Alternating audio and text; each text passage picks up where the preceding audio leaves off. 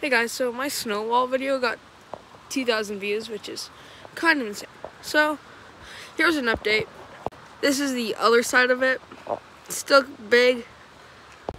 So yeah, that's that's all there really is to it. If you guys want to like see the day by day progression of it going down, then I'll definitely make a video on that because you guys seem to like the snow wall. Bye.